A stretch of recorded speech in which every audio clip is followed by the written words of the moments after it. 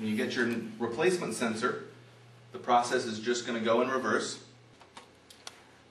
So when adding your replacement temperature humidity module, you'll take the two sheet metal screws, place the sensor over the bosses for the screws, put them in. Take careful note that there is another boss to hold the cable tie to secure and give some strain relief. Make sure you orient the sensor in a way that you have access to that.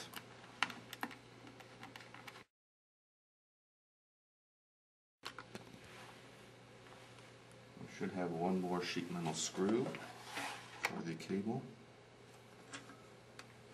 Strain relief. So there we go.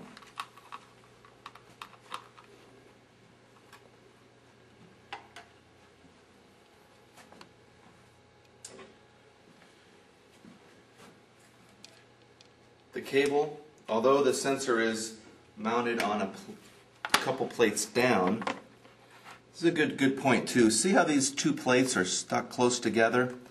That's not the way it's positioned. These standoffs mount on top of each other and stack like that and give you the spacing between the plates. That's important when you're going to thread the screws back through. In order to find the holes all the way through, you're going to want to stack these properly on each other. So you can see this will go right underneath this one here. This is the topmost plate. The cable is going to come up and out between the first and second plate on the top. Now I seem to have it aligned. What I'm going to do is go ahead and put my bolts through lock washer first, washer second, bolt through the hole. There's a few holes on the rain collector base. Pay attention to where these came from when you removed it. There's three, they're going to form a triangle and go through these plain holes right there. And lifting the stack of plates up, careful to hold them in their assembled stacked position. I want to be able to find the holes. I'm going to slide this up on the bolts.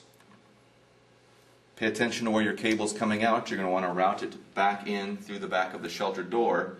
So be sure to orient the uh, radiation shield in a way that that can be done. So I'm going to slide the three screws through here and they tell me this takes three hands. So we'll see how this goes. I've got it up, push some of the screw heads up. It may take a couple people to get this done and get the screws aligned through all the holes before you screw them in.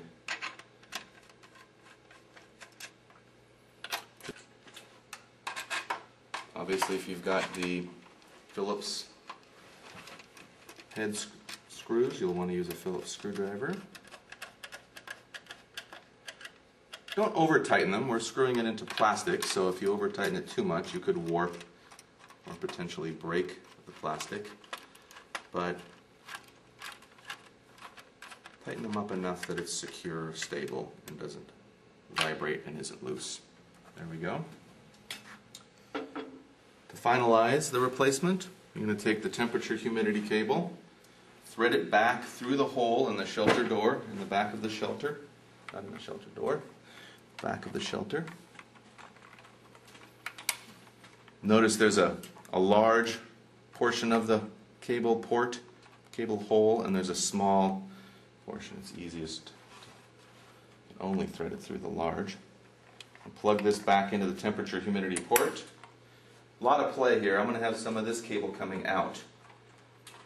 And this has actually some, some relevance. You want this cable to loop around the bottom uh, in a way so that water will not drip down the cable and into the shelter on the electronic PC board in there, the module we just replaced.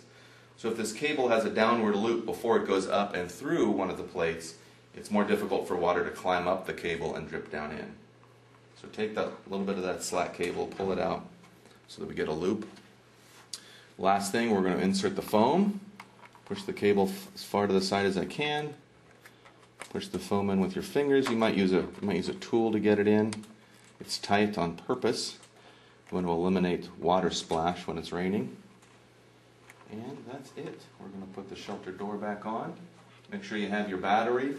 Make sure the green light's not flashing. The fourth dip switch is down, so we're not keeping that green light on.